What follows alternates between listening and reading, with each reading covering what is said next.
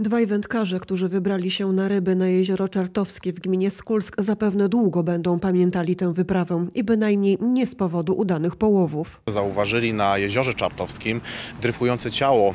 Powiadomili o tym służby, em, policję oraz straż pożarną. Na miejscu interweniowali policjanci, a także druhowie z OSP w Skulsku i strażacy z komendy PSP w Koninie. To oni wydobyli ciało na e, powierzchnię i jak się okazało, było to, były to zwłoki mężczyzny. Ciało było w znacznym e, e, stopniu rozkładu, w związku z tym decyzją prokuratora zostało zabezpieczone do sekcji. Stwierdzono, że są to zwłoki mężczyzny, e, prawdopodobnie w starszym wieku, bardziej starszym niż, niż młodszym.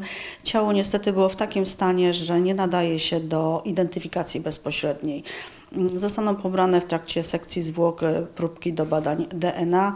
Mężczyzna ten nie miał przy sobie żadnych dokumentów, więc póki co nieznane są jego personalia.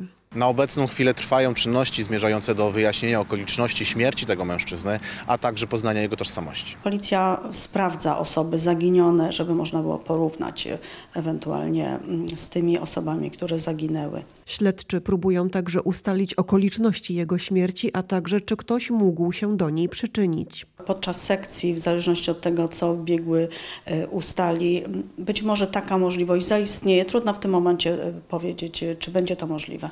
Sekcję wyłowionych z jeziora zwłok zaplanowano na wtorek.